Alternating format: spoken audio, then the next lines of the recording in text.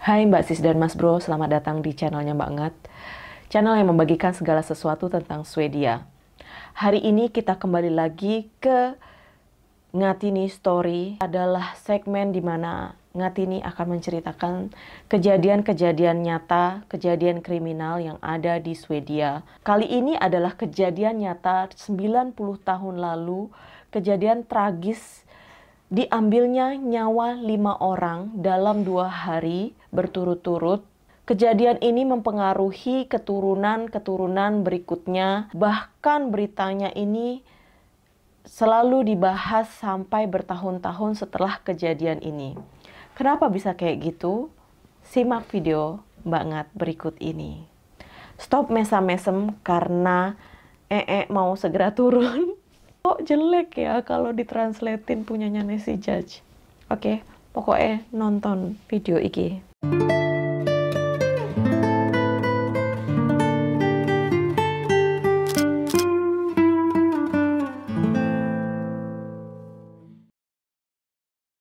Sebenarnya Mbak Ngat itu nggak pengen ngatini story itu berlanjut karena kejadian-kejadian kriminal itu kan menimbulkan trauma gitu ya.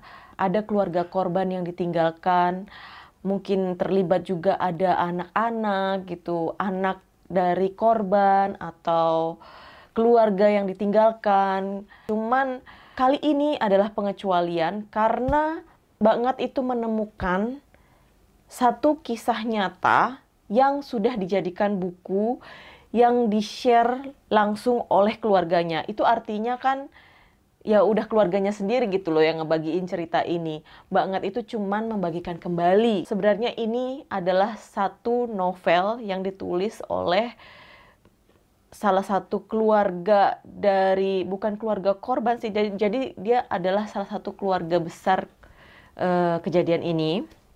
Di kejadian ini yang terpengaruh dengan adanya kejadian ini dan dia menulis buku yang kemudian bukunya ini menjadi sejarah catatan sejarah di Stockholm terutama. Akhirnya menjadi salah satu literatur yang dijadikan bahan studi di sekolah-sekolah which is akhirnya ini menjadi bahan yang harus banget baca untuk bahan sekolah bahasa terus kok kayaknya sayang gitu loh kalau aku ha harus menyimpan ini sendirian. Aku udah baca berkali-kali dan bukunya pun udah sampai kayak gini bentukannya. Udah banyak note-notenya kayak gini. Novel ini memang kejadian nyata tapi nama-nama yang ada di novel ini pun beberapa sudah disamarkan gitu. Mungkin karena menghargai atau mungkin uh, kurang setuju orangnya. Si penulis ini adalah ini penulisnya anak dari adik si pelaku. Kejadian ini dikenal dengan nama von Sindov murder. Ini adalah nama belakang dari si pelaku. Frederick dan Sophie adalah karakter utamanya. Dua-duanya adalah keluarga yang kaya di kota Stockholm dan sangat ternama dan dikenal. Keluarga Frederick itu tinggal di Norrmälarstrand itu adalah salah satu pusat kota yang ada di Stockholm. Itu adalah kawasan tua ya, jadi nggak ada rumah di sana. Mereka tinggal di apartemen, tapi apartemennya adalah 8 kamar. Kawasan itu biasa dikenal dengan nama Kungsholmen. Jadi di kawasan itu sendiri untuk harga tiga roomnya adalah 7 juta 300 kroner. Tiga room itu cuma 64 meter persegi ya. Dan itu kurang lebih 15 miliar untuk 64 meter persegi. Harga per meter perseginya kurang lebih di sini tercatat 114 ribu kroner atau sekitar 172 juta per meter persegi. Frederick tinggal bersama ayahnya yang bernama Yalmar, lalu ibunya bernama Ruth, dan beberapa kakak dan adiknya. Mereka juga punya beberapa pembantu di sana. Hanya orang kaya raya yang mempunyai koki dan juga e, pembantu kalau di Stockholm ini. Sophie juga lahir dari keluarga kaya bernama Kohlberg. Keluarga Colbert itu tinggal di Strandwagen. Bapaknya adalah Alrik yang merupakan pengusaha terkenal yang ada di Swedia. Dia adalah salah satu pendiri atau cikal bakal salah satu forsek ringkasan atau perusahaan asuransi yang namanya Hansa atau sekarang biasa dikenal dengan Trig Hansa. Sophie mempunyai ibu yang bernama Helena dan dua kakaknya. Keluarga Colbert juga tinggal bersama dikelilingi dengan pembantu-pembantu, supir, dan juga koki. Jadi di zaman itu, hierarki dan juga patriarki itu sangat uh, masih sangat kental gitu di mana dari kedua keluarga ini walaupun mereka sama-sama kaya tapi Frederick yang dari keluarga aristokrat bisa dilihat dari font Sido. Font itu berarti kayak keluarga aristokrat. Jadi keluarga yang uh, derajatnya itu lebih tinggi gitu dari orang biasa. Hjalmar atau bapaknya Frederick ini juga mempunyai jabatan yang tinggi di pemerintahan dan di kepolisian atau bisa dibilang di militer gitu ya. Dia juga pernah menjabat sebagai Forsta Kamaren di gedung parlemen. Jadi zaman dahulu itu masih ada Forsta Kamaren atau first chamber nggak ngerti aku jadi yang jelas dia dengan posisinya itu menempatkan dia sebagai seseorang yang derajatnya tinggi sekali dan makanya dia itu dikenal sangat luas di Stockholm pada kala itu. Sementara keluarga Sophie, bapaknya bernama Alrik ini adalah pengusaha yang juga kaya raya. Tapi sebenarnya walaupun kaya raya, tapi dia tidak berdarah aristokrat. Frederick dan juga Sophie ini punya kesamaan yaitu mereka sama-sama kehilangan ibunya. Kalau Frederick itu sebenarnya dia punya ibu tapi ibunya itu punya masalah mental sehingga dia sering menghabiskan waktunya di kamar tanpa merawat anak-anaknya, nggak ngurusin anak-anaknya dan menggunakan penenang. Jadi di zaman dahulu pun kayak belum ada gitu loh perawatan. Dan pada zaman itu narkotik atau morfin itu dijual bebas di apotik. Semua orang bisa membeli morfin bahkan anak kecil sekalipun. Sedangkan Sophie itu dia mempunyai ibu tapi kemudian suatu hari ibunya itu meninggalkan keluarganya tanpa meninggalkan pesan apa-apa dan hanya pergi begitu aja untuk laki-laki lain yang uh, apa namanya musisi gitu loh. Jadi meninggalkan orang kaya ini untuk seorang musisi atau artis. Jadi kesannya tuh kayak walaupun kaya tapi wanita pada saat itu nggak punya posisi dalam keluarga. Wanita pada zaman itu biasanya apalagi wanita-wanita kaya ya biasanya hanya menunggu untuk dinikahi laki-laki untuk bisa keluar dari rumahnya. Dan misalnya dia pekerja sebelumnya lalu dia menikah sama orang yang kaya raya, maka dia harus meninggalkan pekerjaannya dan mengurus rumah tangga. Jadi memang dia tidak menyapu, nggak bersihin dapur atau nggak memasak, tapi dia hanya mengelola keuangan, terus nyuruh, oh ini menunya apa hari ini, apa yang harus dimasak, apa yang harus dibelanja. Jadi itu tugasnya. Jadi kayak mungkin uh, kayak terkekang gitu, sama kayak ibunya Sofi yang dulunya punya karir, terus tiba-tiba menikah dengan bapaknya si Alrik ini dan harus meninggalkan pekerjaannya dan bekerja hanya mengurus rumah tangga itu akhirnya mungkin dia nggak merasa bahagia dan akhirnya meninggalkan rumah untuk laki-laki lain. Dan pada saat itu orang-orang dewasa itu tidak membicarakan itu ke anak-anaknya. Jadi anak-anaknya itu termasuk Sophie itu kayak cuman nggak tahu ibunya ke mana dan nggak ada penjelasan dari bapaknya ke mana ibunya pergi gitu loh.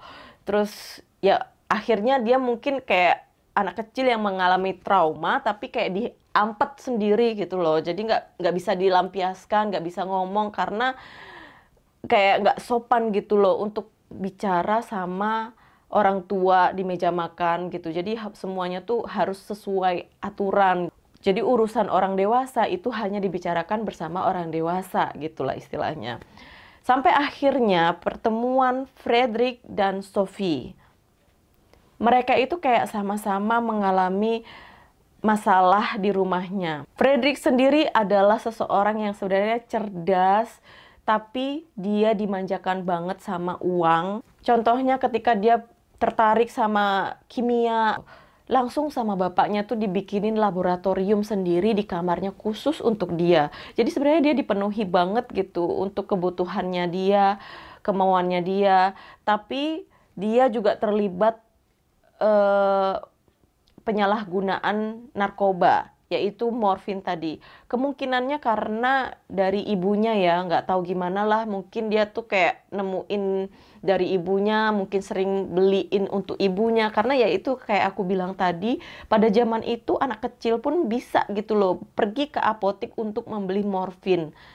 Jadi waktu itu belum belum ada penemuan yang memberitahukan bahwa morfin itu menyebabkan koko gitu atau menyebabkan uh, adiksi atau efek yang buruk jangka panjang itu belum ada waktu itu penemuannya. Makanya waktu itu masih dijual bebas. Frederick dan Sophie ketemu di saat musim panas karena mereka sama-sama mempunyai rumah musim panas yang berdekatan. Pada saat itu si Frederick ini kayak berlayar gitu kan. Terus datang si Sophie, terus mereka kayak menemukan kecocokan langsung kelihatan sling gitu. Ini kayaknya kelas aku nih gitu kan.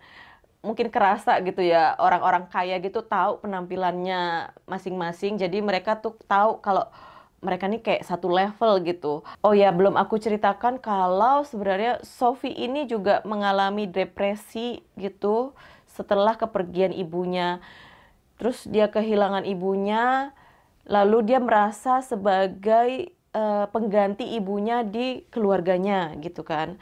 Tapi ternyata bapaknya itu menikah dengan orang lain, dengan perempuan dan membawa ke rumah dan pada saat itulah Sophie juga semakin merasa kehilangan ayahnya tapi juga kehilangan ibunya. Jadi dia kayak nggak punya siapa-siapa gitu loh di rumah. Karena ibu tirinya sendiri juga kayak nggak perhatian. Pertemuan-pertemuan rahasia mereka ini akhirnya membuat Sophie itu hamil.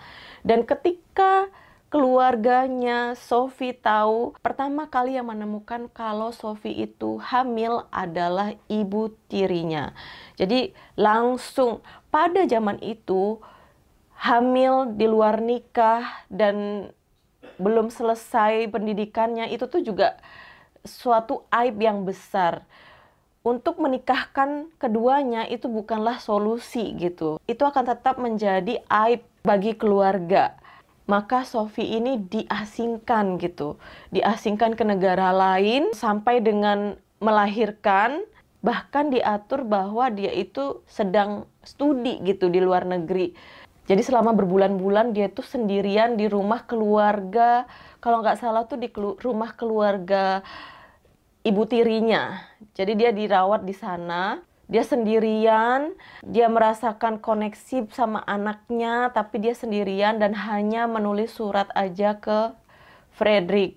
Karena Frederick ini nggak tahu si Sophie ini ada di mana gitu. Sampai akhirnya lahirlah anaknya si Sophie sampai dengan tiga bulan dia masih diizinkan untuk menyusui anaknya dan setelah tiga bulan dirasa sudah cukup sama keluarganya si Sophie sampai akhirnya dia bisa ditinggalkan dan diadopsi oleh keluarga dari eh, ibu tirinya Sophie. Sophie kembali lagi ke Stockholm dan meninggalkan anaknya.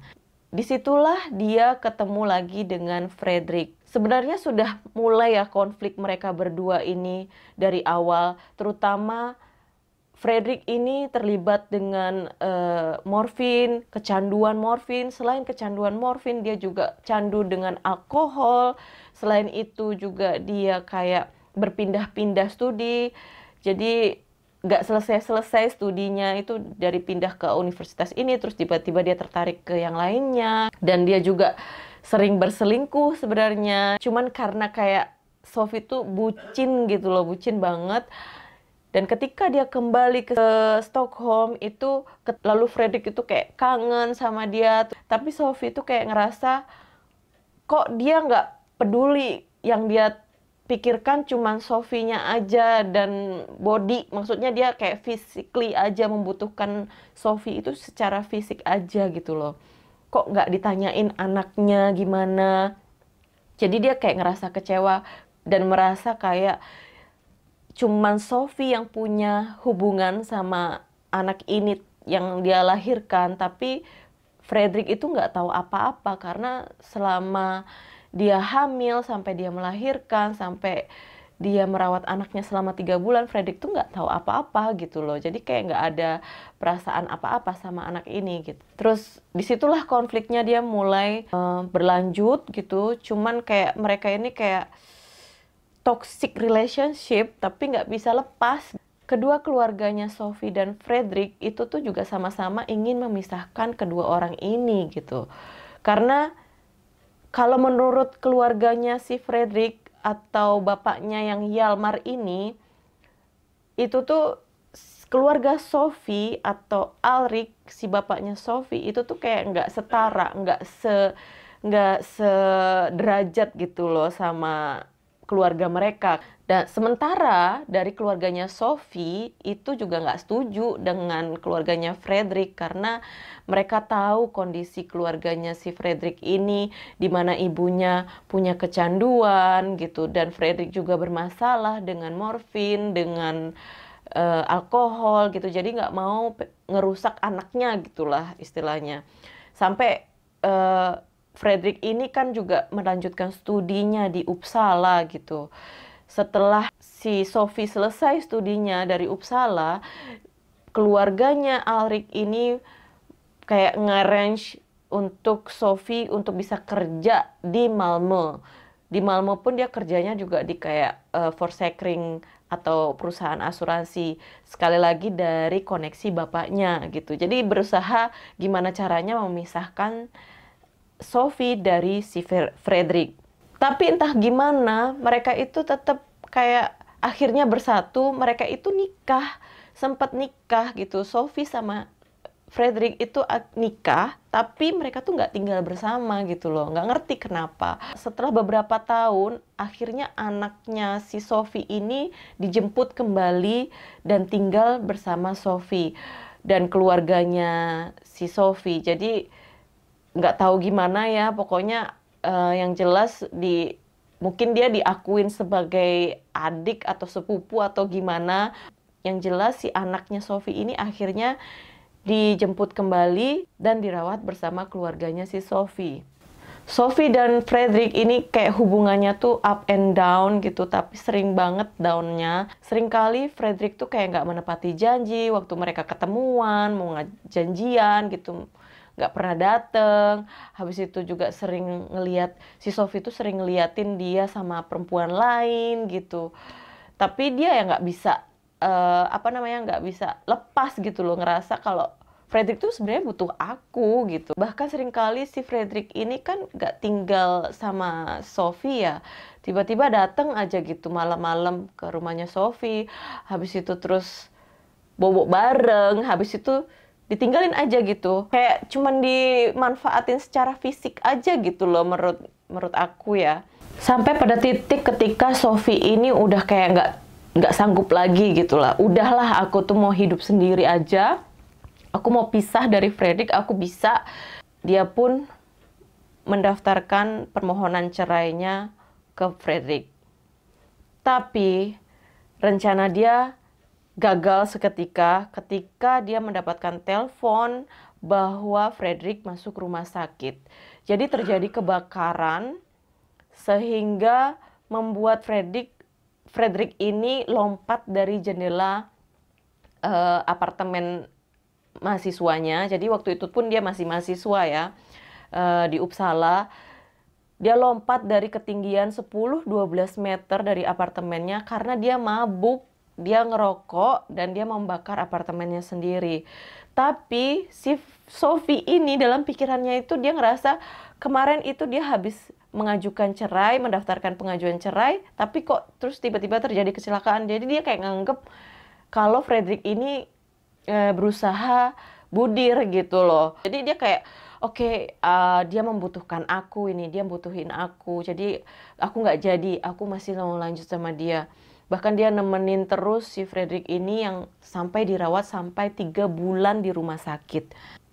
Bahkan setelah dia pulih dia tuh masih ngerepotin juga si Sophie. Dia kan masih eh, nggak uh, bisa ngapa-ngapain juga sendiri masih harus dibantu sering dibantu. Jadi dia sering kali membuat Sophie ini pergi dari Malmö ke Uppsala hanya untuk merawat si Frederick tapi dia ketika mengunjungi Uppsala itu selalu dia menginap di hotel gitu nggak pernah dia nginap ke tempatnya si Frederick.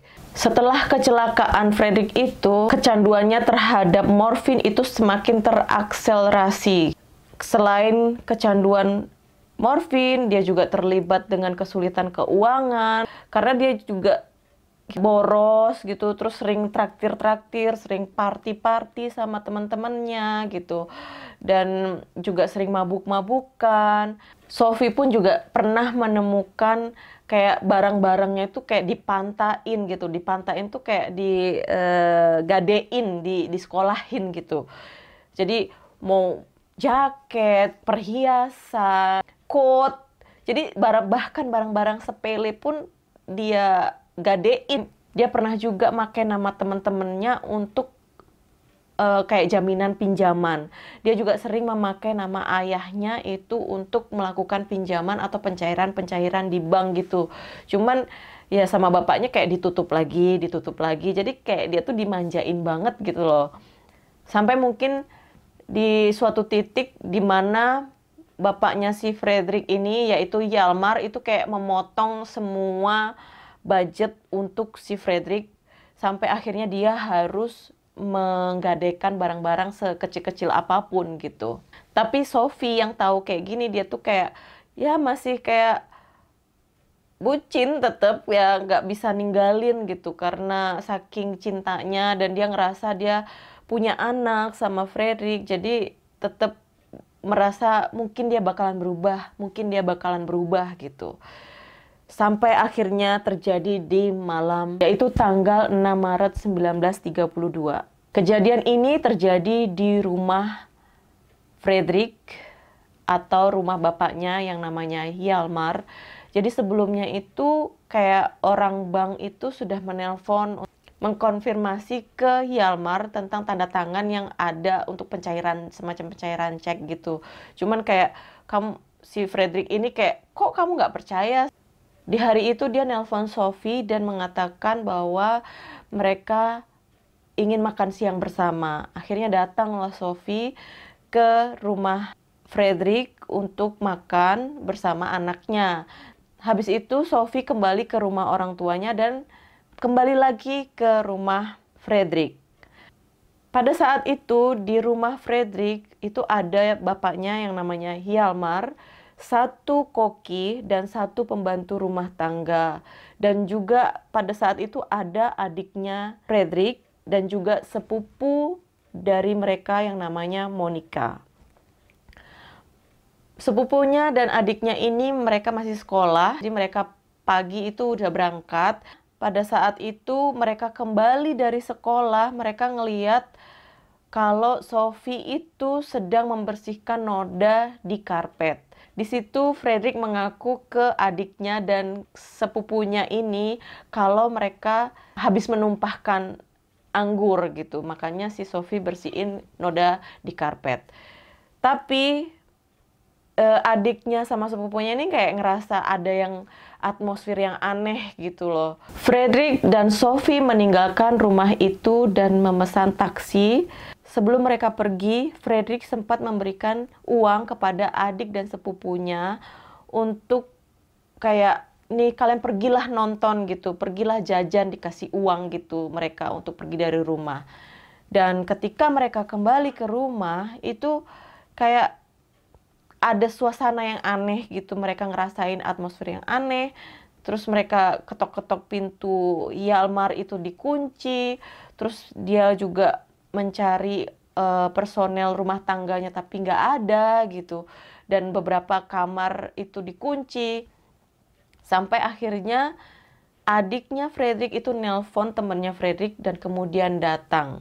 Saat itulah ditemukan Hialmar atau bapaknya Frederick duduk di kursi kerjanya berlumuran darah dan juga dua pembantu rumah tangganya yaitu pembantu dan juga koki rumah tangga itu juga terbunuh dan berada di kamar yang sama gitu. Jadi tiga orang terbunuh pada saat itu dipukulin dengan balok besi sampai mereka kehilangan nyawanya. Sementara Sophie dan Frederick itu pergi keliling-keliling kota nggak jelas gitu, nggak tahu mau ke mana mungkin setelah berputar-putar nggak jelas tanpa tujuan. Akhirnya Frederick berhenti di rumah temannya di sana untuk meminjam pistol. Sementara Sophie itu menunggu di taksi. Jadi Frederick ini datang ke rumah temennya dan cerita basa-basi. Terus dia bilang, oh aku lagi ditantangin nih uh, untuk apa namanya, untuk duel, bukan duel sih kayak adu tembak gitu sama salah satu temannya yang lain. Tapi lisensnya dia kan sudah nggak ada, jadi dia mau pinjam sama temannya gitu. Dan karena gak ada keanehan. Frederick ini juga memang terbiasa dengan senjata. Mungkin mereka kayak punya hobi sama-sama dengan temannya ini. Jadi dia kayak ya udah sih biasa aja. Jadi akhirnya dia pinjamkan pistolnya, revolvernya dia ke Frederick dan karena dia tidak punya peluru dan Frederick pun tidak bisa membeli peluru gitu. Jadi akhirnya dia mereka berdua Frederick dan temannya itu pergi untuk membeli peluru gitu dekat sekitar rumahnya itu. Dan kembali lagi saat kembali, temannya Frederick sempat menyapa Sophie. Setelah dari situ, mereka bilang mereka mau pergi ke suatu acara. Dan temannya ini ngerasa aneh, kenapa? Kok aku nggak diajak sih? Biasanya kan mereka ngajakin aku, tapi kok kali ini mereka nggak ada tawaran untuk ajakin si temennya ini gitu tapi ya nggak nggak ada keanehan waktu itu akhirnya si Fredrik dan Sophie itu pergi uh, meninggalkan Stockholm tujuan mereka berikutnya adalah ke Uppsala kembali ke Uppsala di Uppsala mereka menginap di sebuah hotel kemudian hari berikutnya mereka pergi ke sebuah restoran yang sering mereka kunjungi waktu mereka masih bersama di Uppsala. Jadi ada namanya restoran Gillette, Gillette. Mungkin nggak tahu masih ada apa enggak itu di Uppsala. Silahkan buat kalian yang di Uppsala itu cek apakah ada yang namanya restoran Gillette. Dan di situ adalah restoran yang cukup ternama, cukup mewah. Mereka memesan makanan yang biasanya mereka pesan kayak oyster. Jadi oyster itu memang termasuk makanan mahal ya. Pada saat itu aja harganya untuk dua orang adalah 2.500 kroner yaitu sekitar mm, 4 juta atau 3 juta gitu. Itu untuk dua orang ya. Nggak tahu sekarang pasti lebih dari itu. Tapi tidak dimakan. Mereka kembali ke hotel dan mencoba memboking untuk satu malam lagi. Tapi ternyata hotel itu penuh. Ya udah mereka bingung mau ke mana. Akhirnya mereka kembali ke hotel lagi. Tapi sebelum itu mereka bertemu dengan beberapa teman yang nggak terlalu kenal banget tapi pernah ketemu gitu kan si Frederick ini. Jadi setelah ketemu dia mengundang lah ke tiga orang temannya itu mengundang tiga orang temannya itu untuk gabung sama Frederick dan Sophie. Sebenarnya mereka tuh nggak nggak mau gitu kan. Cuman si Fredrik alasan-alasan macem-macem kalian kan baru ketemu sama istriku ini jadi ayo ikut uh, ke pesta kecil buat uh, sama kita gitu. Akhirnya tiga orang ini ikutlah gitu kan. Ikutlah ke restoran Jilet lagi balik gitu ke sana. Dan di sana mereka tuh kayak ya udah ngomong-ngomong cerita biasa tapi si Frederick ini masih dengan mantelnya. Jadi dari balik mantelnya ini dia masih menyimpan senjata yang dia pinjam tadi. Tiga temannya ini bersaksi kalau uh, ada keanehan-keanehan gitu, atmosfer yang aneh dengan pasangan ini, tapi mereka nggak ngerti apa waktu itu. Di restoran itu mereka juga memesan makanan yang sama, yang sebelumnya itu mereka nggak makan gitu. Jadi cuma dipesan aja tapi nggak disentuh sama sekali. Dan waktu kembali lagi ke restoran itu mereka pesan makanan lagi makanan yang sama dan untuk teman-temannya juga dan beberapa minuman. Dan mereka ngobrol-ngobrol terus membicarakan juga tentang reinkarnasi karena menurut Frederick itu setelah kematian mereka akan ketemu lagi orang itu akan bertemu kembali dan segala macam kayak gitu. Dan suatu titik datanglah polisi yang berseragam preman yang memanggil Frederick. Kayak ngasih tahu gitu kita mau ngomong nih gitu kan. Jadi pergilah Frederick ke sana ke polisi itu kan menuju ke polisi itu. Tapi tidak disangka-sangka waktu dia menuju ke sana tiba-tiba dia kembali balik arah lagi mendatangi Sophie yang duduk di mejanya lalu dia berbisik ke Sophie setelah dia berbisik sesuatu ke Sophie, dia langsung menembakkan peluru ke arah Sophie dan berikutnya ke arahnya sendiri.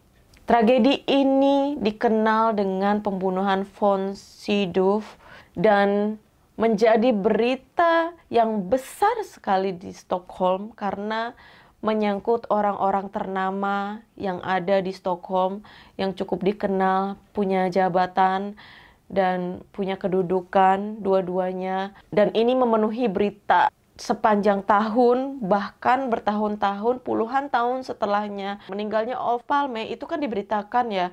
Tapi pembunuhan ini tuh masih terus juga ikut diberitakan di antara pembunuhan lain yang cukup besar di Swedia.